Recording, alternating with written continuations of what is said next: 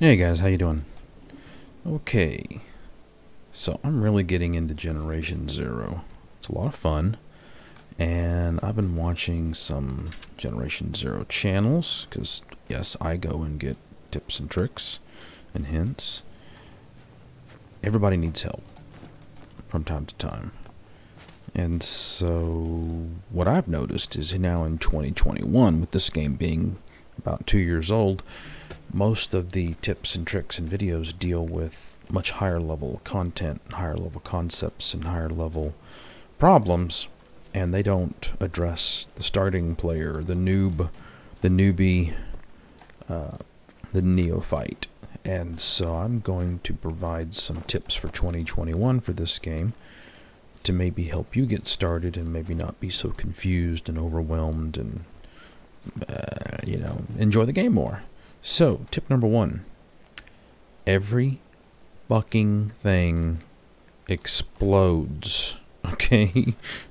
this game is filled with, with things that go boom, and they go boom at surprisingly wide radii. Okay, yes, that's the proper term. The plural of radius is radii. See this little box right there? That, that little white box? Yeah, don't get too close because kablooey. Now, just to be sure, before I started the video, I shot that little white box, and it caused this propane tank to explode. It caused that car to explode. It caused these thingy dingies, I guess they're electrical transformers, to explode. If you were standing over here, you would be in a world of shit. okay?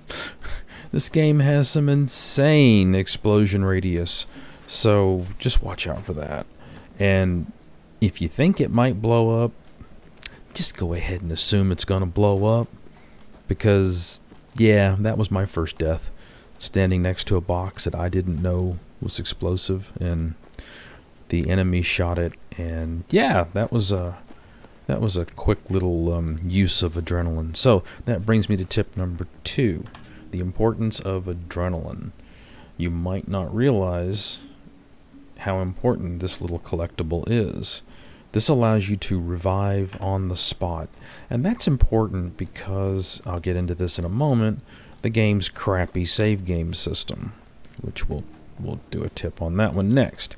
And so, if an enemy kills you, a little a little dialogue pops up and asks if you want to go to the nearest safe house. So this game uses a, a system of safe houses, and this is where you can respawn at if you die without adrenaline or if you don't want to spawn on the location.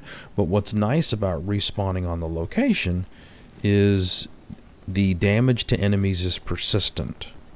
So if you're working on a particularly tough enemy and you don't get them dead and that enemy kills you, you can you can spawn right there on the spot. Now you're going to come back at 20% health, so be be quick with the with the heals and the healing kits, okay? Now, let's let's do let's do the next tip I wanted to cover: crouch walking. So, crouch stealthing, and I got this from Teneb Tenebris Infinite. He has some some really good videos. He's really knowledgeable about this game, and so you can see the that's that's the stealth detection meter. Okay, and as long as I go back to crouch, that runner, and that and they're called runners. Sometimes I call them dogs. Uh, but that runner is going to have a hard time picking me up as long as I just go back into crouch. And this is a really effective way to uh, speed up your exploration and still remain stealthy. Right. Okay, so that was crouch walking. Okay. Next thing you should know about is how important the binoculars are in what's called tech mode, tech view, okay? And you can see I'm getting all kinds of information on this enemy. This is not particularly useful for experienced players, but for us noobs, this is a godsend, okay?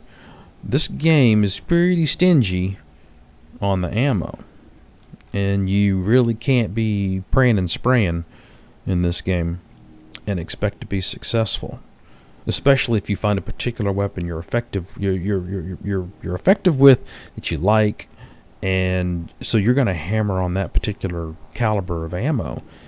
And if you're just shooting enemies willy nilly, you're gonna you're gonna use a lot more ammo. And so what you need to do is you need to shoot these these soft spots here. See these see these these little dudes lit up? That's where you want to shoot the sucker, especially in the gas tank. You want to look for gas tanks. Uh, as far as I know, and I'm not a complete total. I mean, I'm I'm learning, but I'm not I'm not a complete expert yet by any stretch of the imagination. This game has a lot of depth and complexity to it. As far as I know, except for like this tick here, you see, pest class A. they are a pest. So with the runner, you want to shoot them right there in that in that fuel tank. Now, that goes to my next trip. Ammo types, ammo types, ammo types, ammo types. You need to pay attention to the ammo types. Armor piercing ammo for 9mm, see? Okay. So this is good for penetrating and damaging armor. And you will find these, especially the later the later runners, they will have an armor plate on the front protecting that fuel tank. Armor piercing ammo can get through that and knock the plate off. So you want to uh, pay attention to what type of ammo type you have you have selected for that particular weapon. So if we take a look at my clock, my it's a Glock, but I'm sure they had to. Okay, so you've got the full metal jacket. Okay, it's a good all-around option, but it's not particularly good. And then the uh, at damaging components, and then you've got the armor piercing for getting through armor, for damaging armor, and it, it does that quite well. What I like to do is I like to run the the shotgun. I'm real I if you watch my channel, you know I don't like shotguns. I really like the shotgun in in this game. Now, this was the first legendary weapon I got. Okay, and so th this game uses a con system, and so you have gray, green, blue, pur purple, yellow for legendary, and pink for experimental. I haven't haven't found an experimental yet. So, uh, you know, I'm, I'm, still using uh, four crown purples, but these are excellent, excellent weapons. But what I like to do when I can is I carry either, um, well, I mean, you, you run the FMG, the, the full metal jacket in 7.62, but if I'm, I'm going up against it, and this will penetrate armor, but there is armor piercing ammo, right? I don't, don't want to aggro this guy. I'm saving him for some right? And so this is for for getting through ammo and shredding uh, ammo, armor, and shredding armor. I use this on tougher tougher opponents. I'm not going to use them on these prototypes. Prototype is the lowest level, lowest uh, level class. Uh, the next tip is put your um, your fire mode on a very convenient button. You can see I'm cycling through burst, automatic, and semi-automatic really, really important. The bullet spread and recoil in this game is quite severe. It's quite pronounced. Uh, it's like day of defeat source severe. Okay, I've gotten used to it. I have not specced into the the um, the weapon recoil. I, I I'm I'm going there, and you can see I'm still pretty low level. Well, I'm mid mid level, maybe upper mid level. Uh, so, yeah, yeah, the the weapon recoil and weapon uh, weapon sway in this game is is is pronounced, and it can be. I'm getting I'm getting pretty good at at at uh, at controlling it, but but those those skills would be nice. Okay, so shot placement, ammo type, changing your changing your cyclic rate of fire is very important. Of course, on a shotgun, uh, you you, you can't change anything. But but usually what I do is I use my assault rifle here to open them up and get the armor off of them, and then when they get when they get too close, I change to my shotgun. Now tip number three, or tip number three, it's not tip number three, tip number 12 gazillion. I like running an assault rifle, a general purpose weapon. That's my assault rifle. And I love the AI-76. It's a really good weapon. Um, and I highly recommend you pick something in 7.62 because there's 7.62 ammo everywhere in the mid and later game.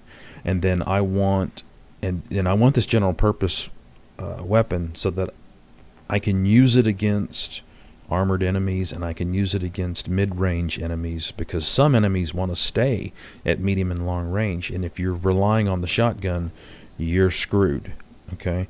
Although with with a really good choke you'll notice I have a legendary shotgun choke in this thing but even a blue choke makes a big difference.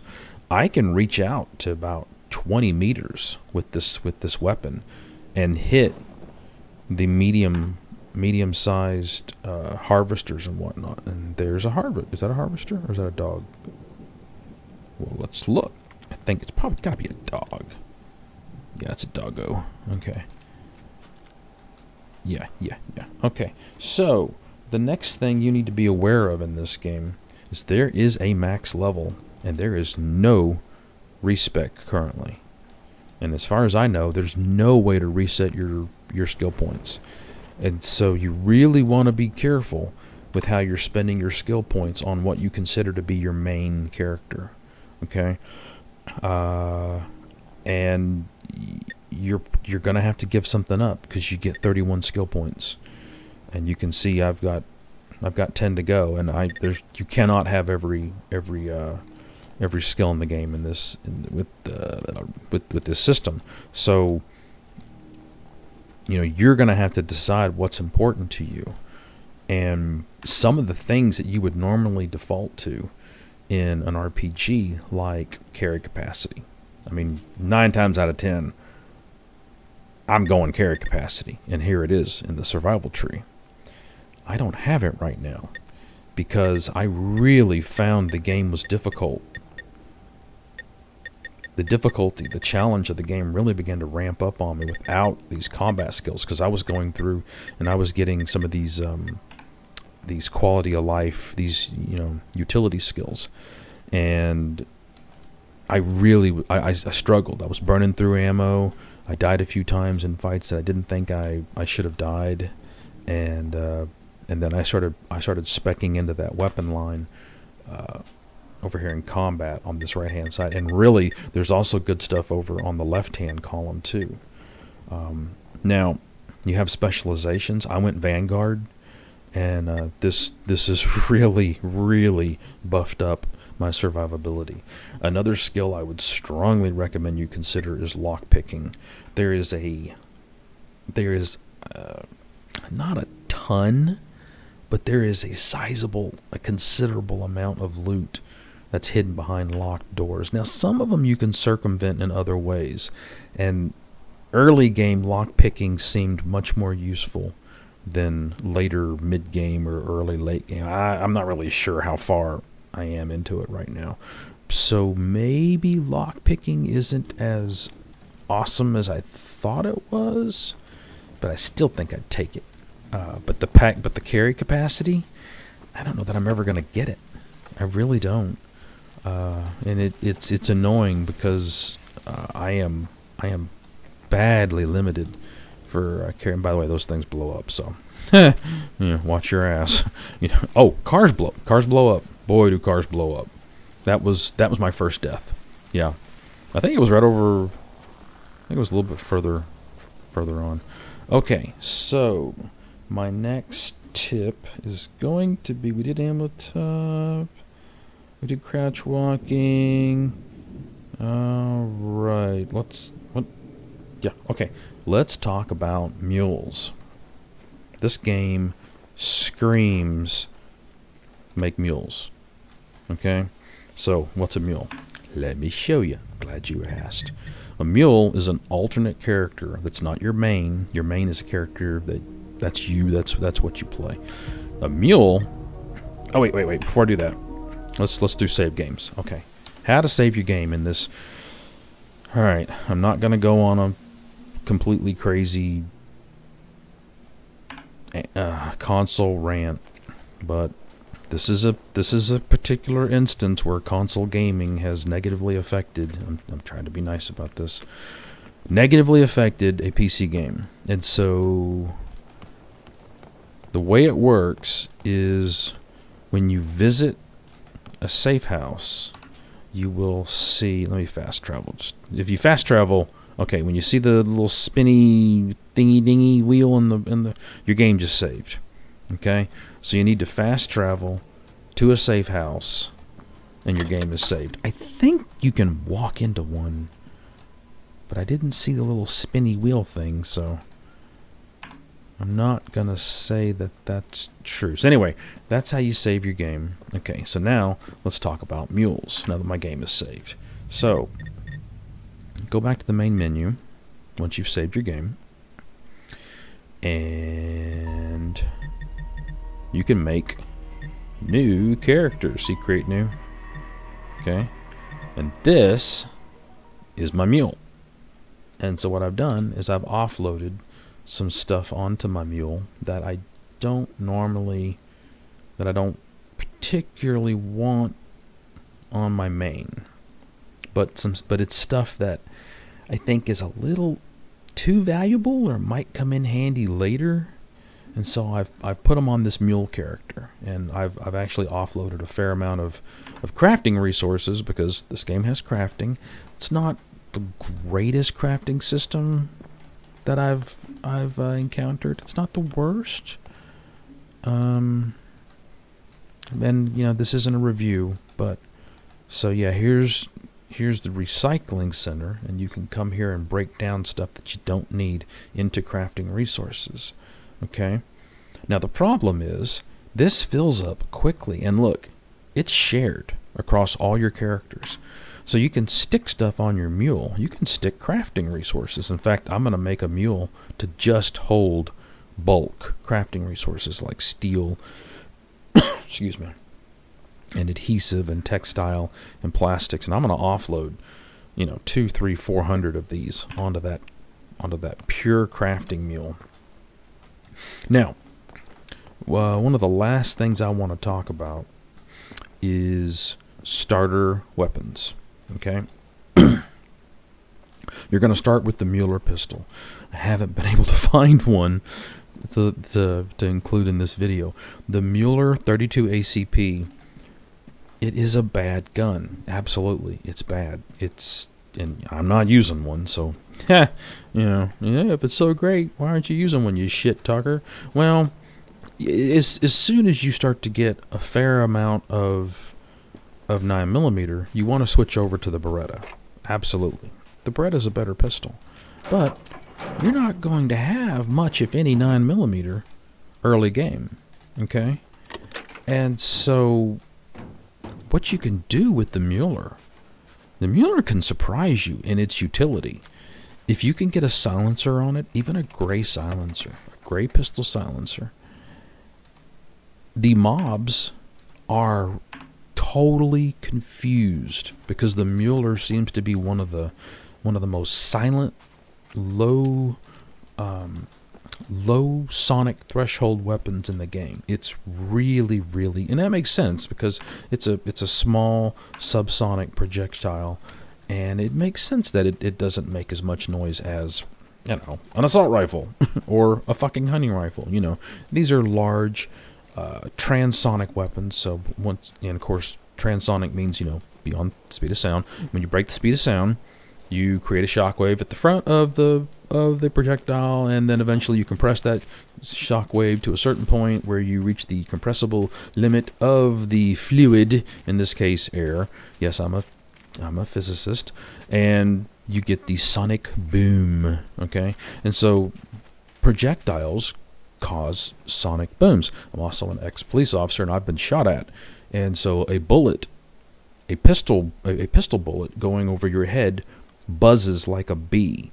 But a rifle round, a transonic round, a supersonic round, cracks, and that crack is the supersonic uh, shockwave. Okay, it's the, the the sonic boom, and so your higher velocity, higher power weapons should be noisier. And in fact, they are. And I, I think that's a, a really nice feature of this game. So, don't sleep on the Mueller. Okay? The Mueller, while it's, it's bad, it is bad. You can sneak up to medium and close range with that thing, and you can pop the fuel tanks on dogs. Now, I don't think the gray Mueller 32 will one-shot a dog to the fuel tank, but it'll cause a lot of damage, and the dogs don't detect you. They're totally confused. And I've been able to, on several, and I wish I would have got it on tape, but on several occasions, I could sit there and just empty the mag into the dog, and he, he never spotted me. So the silenced Mueller is good. Now, the next thing that you want to look for, your first real weapon will be up here, and you'll get a Mueller. And so this is a this is a purple. You'll get a. Is it a blue? It might be a random. It prop. It's probably gray, but you will get. I mean Mueller, a Mauser um, sniper rifle. This thing is quite decent if you know what you're doing. Okay, and so you see I've got it loaded with Full Metal Jacket FMJs. And so let's go back and take a look at the old FMJ here. And so this is your good all-around option. I mean, here we go, 243. Okay, so 243. And so you'll see so the the FMJs, the full metal jackets, those are your kind of ghetto armor piercing rounds, but they're general purpose rounds. They're they're just, you know, when I'm walking around I don't know what I'm going to face, if I've got FMJs, they're loaded, okay? Now the next thing you have are soft points. Now these are really good for popping gas tanks, okay? So you really need to be able to load up these different ammo types, okay? And you can get a lot of work done. Now, if you just bought the game, if I'm not mistaken, and if I'm wrong on this, someone please correct me, but if you buy the latest version of the game, I do believe you get all the DLCs or most of the DLCs, and when you come into the church for the first time, because this should be one of the first areas you reach, right? You start here, you fiddle around here, you fight a couple of dogs here, you wander through here, and you come to the church. Okay? There will be dogs, if I'm not mistaken. Um, when I was here, there were dogs right around in this area.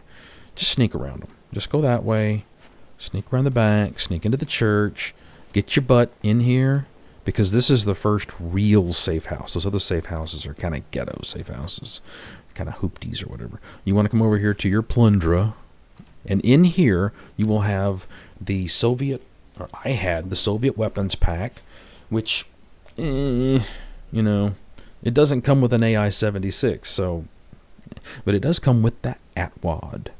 This is a really good, and I know it's legendary, but it comes in blue. It's a blue con. What is that? Is that three crown? That's four. Yeah, three crown and it's good. It's a really good weapon. It fires this this uh, this nine millimeter short, well nine millimeter long, this nine by thirty nine millimeter. It's basically a it's a cross between a submachine gun and an assault rifle. Now, what's a little weird about the at the Atwad is it comes with a built-in silencer, and it's not a great silencer. It's just like an okay silencer. Um, I found that the M16 with a blue was quieter, was more stealthy than the Atwad. So this is kind and maybe it's a green, I'm not sure. Uh, but this this is an excellent, excellent starter weapon, and you can get it in the first 10, 15 minutes of your of your game. Okay, you just sneak over here, hit this, pick up that Atwad, get your get your Mauser sniper rifle, and then let's go take a look at what we can do because this is a completely faster. Oh yeah, I'm overloaded. Okay, let me, uh, uh, let me see. I know I was, okay, so, like I said, I like the, the pump shoddy, but without a choke, I don't know how good it's going to be because the spread is pretty crazy.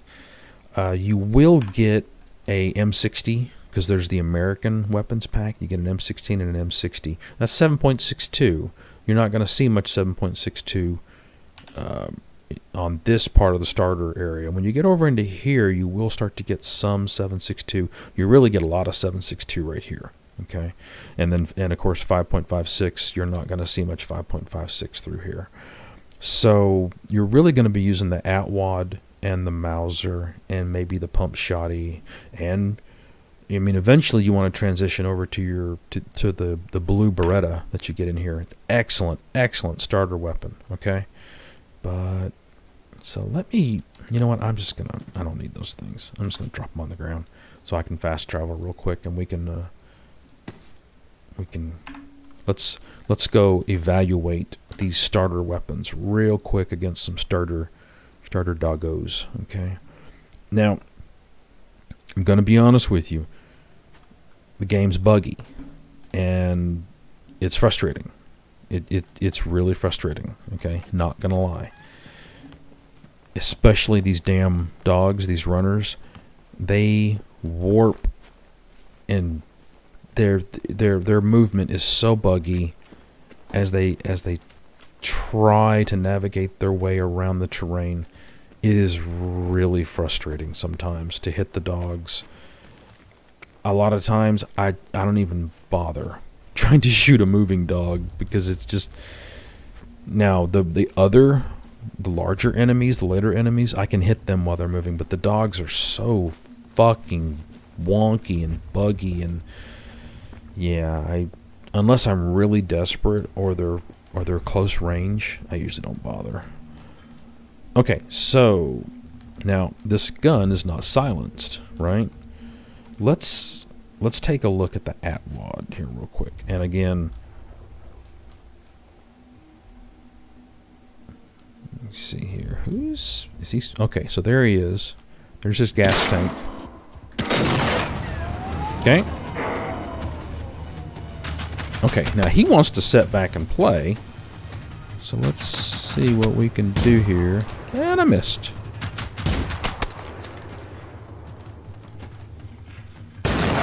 There we go. Okay. I wish I had a Mauser to show you. Oh, here comes the tick, I think. Oh, there's the tick. Okay. Gotcha. Yeah. Oh, I got I got XP on my on my mule. Yeah. I mean, obviously putting a scope on this on this mouser or muster, I don't know. Why am I in combat? Do do do. And you you can put a silencer on this, and it does help. Um, but it's you know it's a it's a rifle, so you know you can only make it so silent. You know what I mean? But it's a good so and I tell you what, when it comes to iron sights, these iron sights are absolutely solid. You know what I mean? I don't think you can... Can you shoot an enemy in the water? I don't think you can. Doesn't look like it, does it? Hmm. Nah. I don't think you can shoot enemies in the water. Oh, he got out of the water. So yeah. So get your Atwad. Get your sniper rifle. Okay. And just remember the the Mueller pistol. Yeah, it it's not great, but if you get a silencer on it and if you if you're stealthy, you can make it work. Okay? It's not it's not complete garbage. It has its place. And it will get you through until you can transition over to the Beretta. So, yeah, guys, I think those are some pretty good low-level, low-B, newbie starter tips. Um, oh, real quick, before I forget. Uh, early combat. Houses are your friend, okay? Don't feel bad because if you go and you watch if you watch Tenebris and you watch some of these other these other really experienced, really skillful players, you're going to see them out in the open. They'll sprint and they'll zoom in and they'll shoot and they'll sprint and they'll heal. They're really good, okay? They have really good weapons. They their their personal eye-hand coordinations uh, skills are are top notch. They're very knowledgeable their their character is fully leveled up and spec'd correctly, they ain't you. They ain't me. Okay, so so houses are your friend. Come in here. Uh, now, you can shoot through some windows, but don't stand right here. Look, it won't go through. You got to back off a little bit. Now you can shoot through this window. Okay, early game houses are great, although sometimes sometimes the runners and the hunters can warp in and they can get inside the house. So just kind of watch out for that. Uh, but don't don't feel bad at all about going out, shoot the enemy in the ass to get their attention, and then run back to a house and use the house for cover. And then that way, you know, I, I like to fight them like right here or on this stairway, and then I can transition upstairs and I can fight them like this.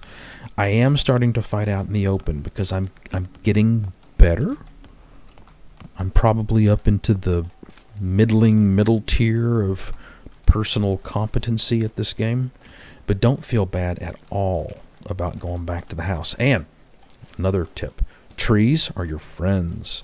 Trees are completely invulnerable to enemy direct fire, not AoEs, okay? That's more of a mid game tip because early on you're not going to have uh, much, if any, AOE attacks. Although the um, the hunters do have a poison gas attack, so you have to watch out for that in the house. They will try to gas you out of the house, and so they will drop their poison gas on the side of the tree they can see. And so you you know you peek out, do some shooting, and then when you see that poison gas get fired, then sprint away. And if you don't know, if you look in the bottom left here, you got the stamina bar with the heart there. Okay, so this is sprint. You're sprinting. Now, when the heart runs out, now you're jogging. Okay, this is still pretty quick, and you can increase this with perks. And so, if you wanna, if you wanna get your your sprinting skill, and then I consider this to be walk, and then this is crouch. So this is what I call crouch walking, because this is sprint, and then this is jog. Now, when you're doing this, you are at your greatest visibility, and the enemies will spot you at ridiculously long levels, uh, long ranges. So be careful sprinting around bad guys. Okay, uh, the dogs aren't looking in my direction. If they were, they would see me sprinting. So anyway, guys, use the house, use the trees, um, sprint from cover to cover, and um, it's it's a fun game. It's a really fun game and I hope these tips and tricks will help some new players uh, jump into the game. Or maybe you're thinking about getting the game and you're not sure if it's it's for you or not. I will do a review eventually. Uh, I don't know enough to do a true comprehensive thorough review of the game just yet. But anyway, thanks for watching, guys. Like, subscribe, and share. Tell your friends. Helps the channel out. Uh, post a comment. Just, you know, don't be a dick about it. Uh, you know, all those things help us smaller channels get noticed. And um, I appreciate it. Y'all have a good one. I'll see you next time.